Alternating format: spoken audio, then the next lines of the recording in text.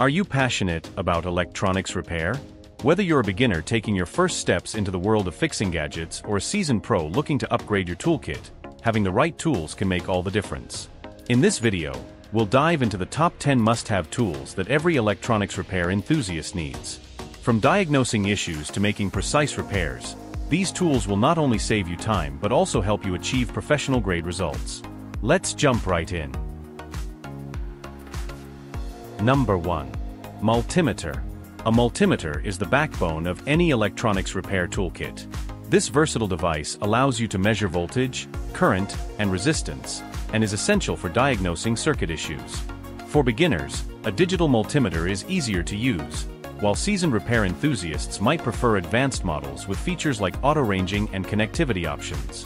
Whether you're checking a faulty power supply or testing continuity, a reliable multimeter will always come in handy. Why you need it. Diagnose electrical issues accurately. Test components like resistors, capacitors, and diodes. Ensure safety by checking live circuits. Invest in a multimeter with a backlit display for better visibility in dimly lit areas. Number 2. Soldering Iron. No electronics repair toolkit is complete without a soldering iron. This tool is essential for assembling and repairing electronic components. For most enthusiasts, a 40-60W soldering iron with temperature control is ideal. Whether you're replacing a broken capacitor or assembling a DIY circuit, precise soldering is crucial. Why you need it. Attach and replace components on circuit boards. Repair broken connections. Build custom electronics projects. Use a soldering iron with an ergonomic handle to avoid hand fatigue during long repair sessions. Number 3.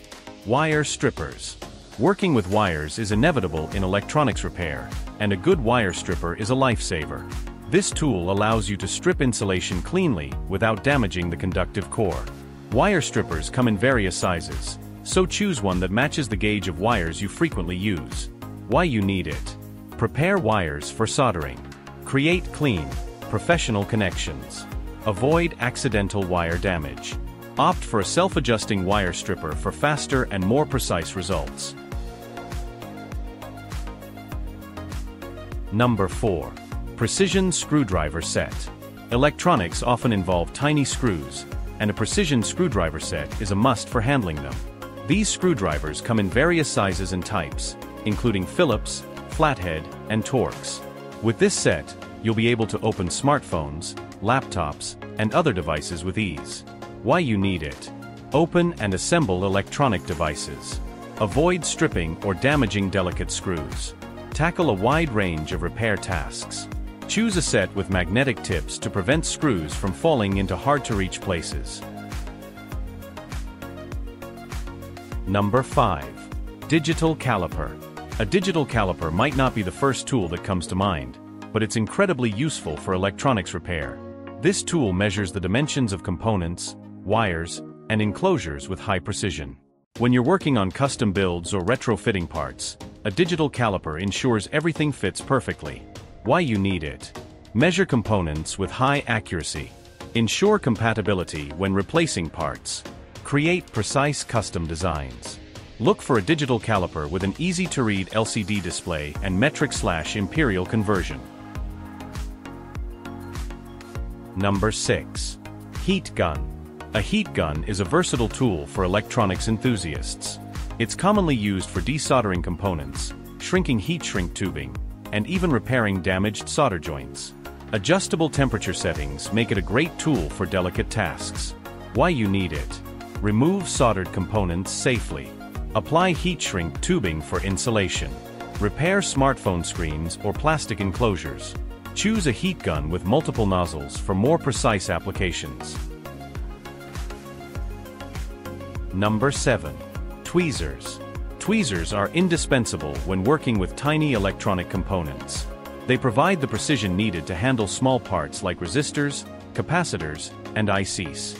Anti-static tweezers are a great choice to avoid damaging sensitive components.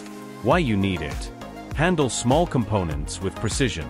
Avoid accidental drops or misplacements. Safely position components on circuit boards. Keep a variety of tweezers, including curved and flat tip styles, for different tasks. Number 8. Oscilloscope. For advanced electronics repair, an oscilloscope is a game changer.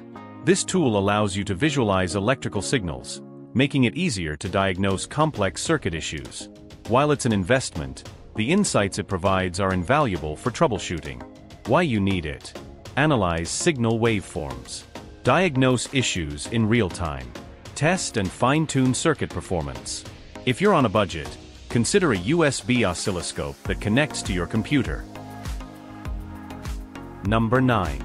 Breadboard. A breadboard is essential for prototyping and testing circuits without soldering.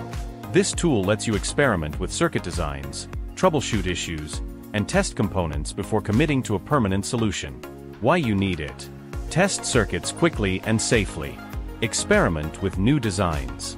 Avoid the need for soldering during prototyping. Use jumper wires with pin connectors for cleaner and more organized breadboard layouts. Number 10. Third hand tool. A third hand tool is like having an extra pair of hands during repair work. It holds components, wires, or PCBs in place, leaving your hands free for soldering or assembling. Many third-hand tools also come with built-in magnifying glasses and LED lights for added convenience. Why you need it. Secure components for precise repairs. Reduce hand strain during long sessions. Improve visibility with magnification. Choose a model with adjustable arms and a sturdy base for maximum flexibility. Equipping yourself with these top 10 tools will set you up for success in the world of electronics repair. Whether you're fixing a broken device or designing your own circuits, having the right tools can make the process smoother, more efficient, and much more enjoyable. If you found this video helpful, don't forget to like, subscribe, and share your thoughts in the comments below. What's your favorite tool for electronics repair? Let us know, and we'll see you in the next video.